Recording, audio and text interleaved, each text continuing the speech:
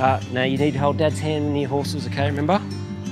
Jazz and I, um, we've got four boys. Um, Oliver, who's the oldest, um, Lincoln, Edward and Dougal. Dougal's only three. Do you want to give him a pat on the nose? You want to pat him? See? Just give him a pat on the nose.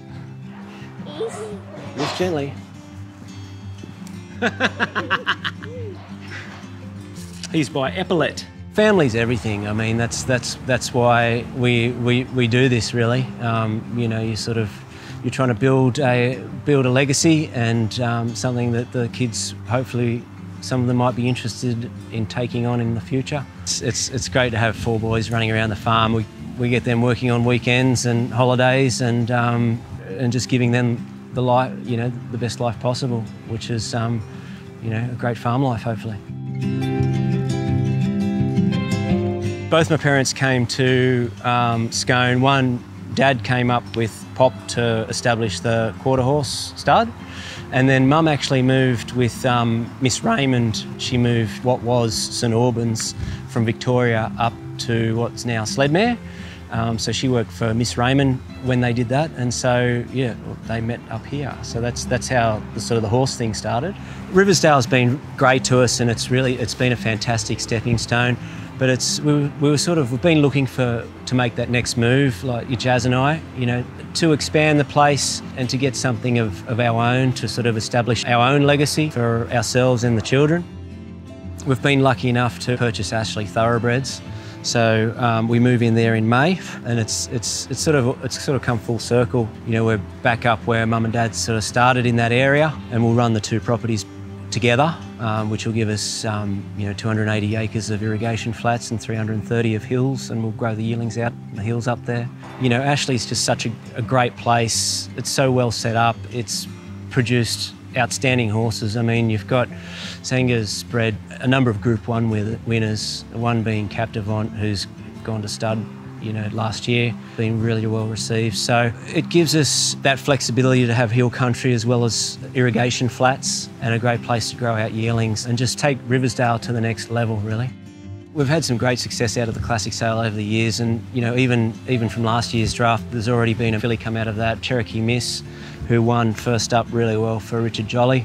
She's by Pariah. She won really well at her first start, and um, she's gone out for a spell, and he's going to bring her back from some stakes races. But we've been lucky enough to, you know, sell three Group One winners in the last few years with Samadoubt and Nettoyer and Behemoth. We bred Irakanji, who was Dundeel's first stakes winner, so that was a big thrill to sort of see him sort of kick off, and we, we got the first black type, which was nice, and. Um, we also bred Merrill, who was Epaulette's first stakes horse. You know, that, that was a thrill too. So, you know, it's, it's, it's great seeing these horses come along. And we're only a small farm. I mean, I'd like to think we're, we punch above our weight. We breed well-educated, sound horses, and it's about longevity and, you know, you, you, a long-term sort of outlook for the industry, really.